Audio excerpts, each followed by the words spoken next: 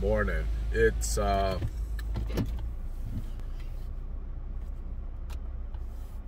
is it Wednesday, October 21st, 2020. It's 2:20 in the morning. I'm on my way to the gym right now. Sometimes when you um, when you look around and you start doing the comparison test, you know, how's this person further than me in their weight loss? How's this person further than me in uh, their business, financially? How's this person doing better than me? How you know, you're when you're in that comparison mode and you're looking at where everybody else is compared to where you think you should be.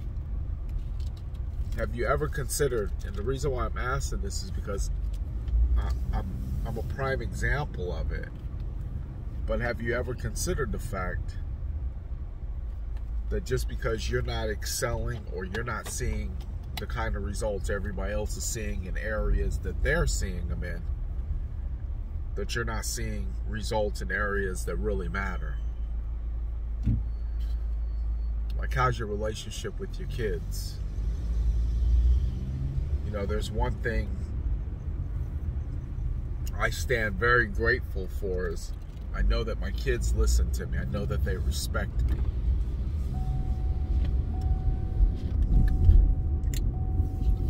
I know when they look at me, they see somebody who is not settling for just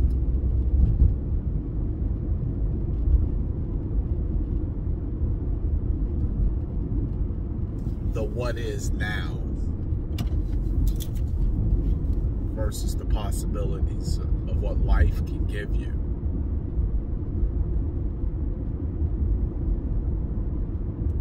And that's not measurable. It's not, not that's not measurable. Yeah, would I like my business to be doing 14 million, 20 million? Absolutely. Absolutely. But sometimes you have to look at where your life is at right now. I mean, even if it's just to gain some momentum, you don't want to go shooting holes through everything that you that, that, that, that isn't adding up or leveling up to what everybody else is doing. You don't you don't want to go defeating yourself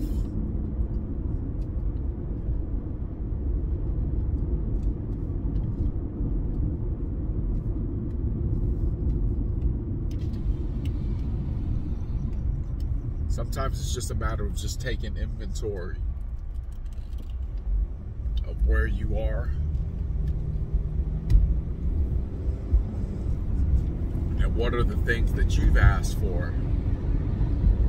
What are the things that you've wanted to happen? And are they happening? And be okay with that. Be happy with that. Be satisfied with that.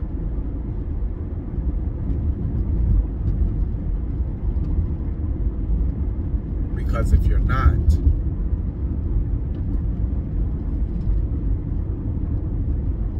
you can put in all the hard work you want. If you're not grateful for what you have, I just don't see God opening up the door to give you more. If you don't identify what you have, where are you feeling rejuvenated? As I was running the marathon or the, the triathlon, they have aid stations just at the point where you're getting ready to fall apart, they got an aid station. They got food there. Got hydration. And as you're fueling up, you have the opportunity to reflect on how far you've come and be thankful that you have the power and the energy to go further.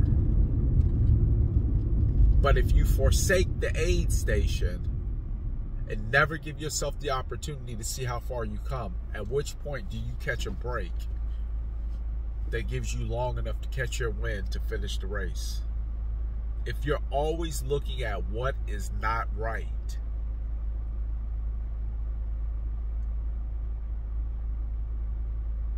it's going to be impossible to finish the race. And there's a lot of people who don't finish the race. They peter out, they run out of gas. They can't get it done. In their mind, everything is wrong. And absolutely nothing is went right. And when you think like that, it's hard to move forward.